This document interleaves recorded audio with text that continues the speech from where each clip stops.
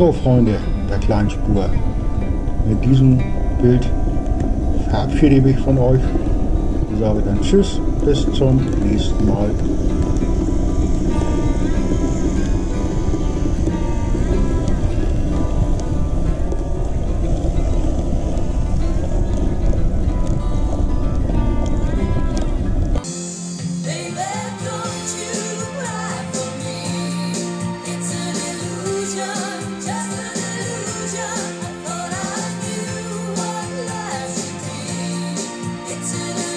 Jesus.